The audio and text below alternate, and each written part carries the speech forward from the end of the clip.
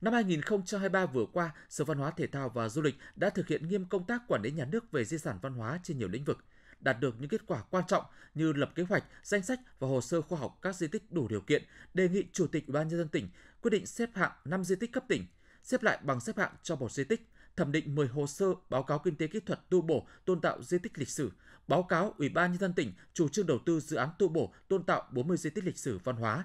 xây dựng hồ sơ đề nghị Bộ Văn hóa Thể thao và Du lịch công nhận 7 di sản văn hóa phi vật thể cấp quốc gia,